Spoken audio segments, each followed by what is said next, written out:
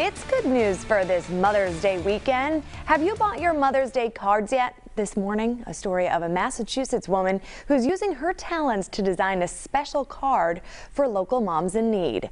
84-year-old Darcy D'Souza became homeless after a serious crash 13 years ago.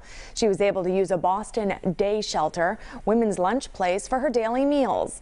The facility offers support services for low-income and homeless women and their children, serving some 250 women each day.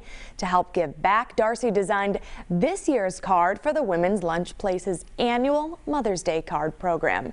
It's one of their biggest fundraisers of the year. Women who are living on the streets have a really hard time finding good, nutritious food. Um, many are suffering from, from medical or um, you know, other struggles in their lives, and they can't focus on them when they're hungry. Each card purchased provides lunch for one woman for an entire week. The Mother's Day cards are $25. The shelter's goal is to raise 30,000 meals through the program. And in the meantime, a new survey is showing what moms really want on Mother's Day. And it's not necessarily flowers or breakfast in bed. According to those responding to the survey by TGI Fridays, 70% of moms say they want a day to themselves. 51% of moms answered they wanted a good night's sleep.